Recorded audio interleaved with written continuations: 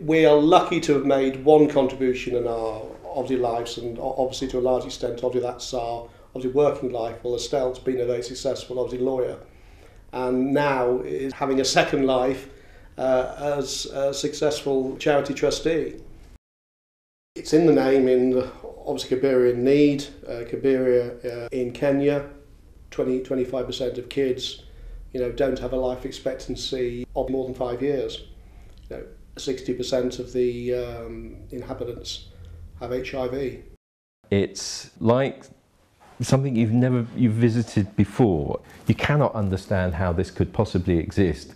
Uh, we don't have anything approaching this anywhere in the UK.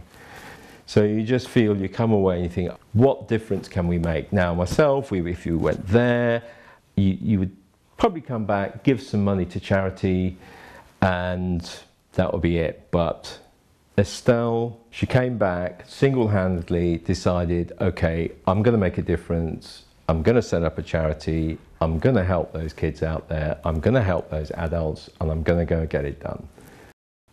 Well, she came back and um, then really looked at well, how can we establish um, a connection between the UK fundraising and Riziki, which is a, the local provider and support network, and then design this guardianship scheme. We also do a secondary education, and we have this more microfinance scheme also, which we run in parallel with the education schemes to enable them to get more money into the family unit. We don't try and just sort of plug a bit here or plug a bit there. We look at the sustainability issue, we look at how we can then motivate the families and really give them a sense of well-being and continue on. This charity would not exist without Estelle.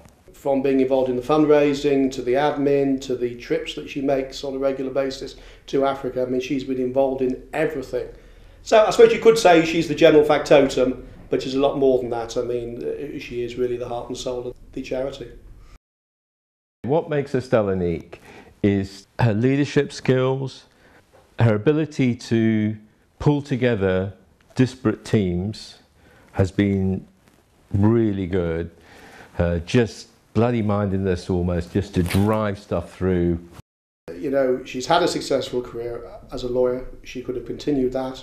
She's chosen to take a back seat from that and to think about others and to have achieved what she has done in a in a relatively short obviously period of time and then to have affected people's lives in the way she has is truly inspiring.